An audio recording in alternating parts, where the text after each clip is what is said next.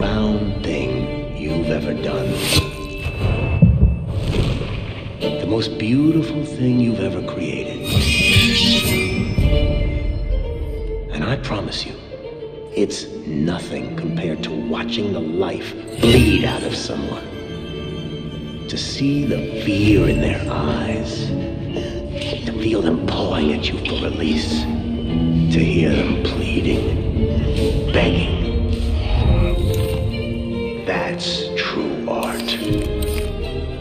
That's what you have to be an artist. I've left my mark on the world.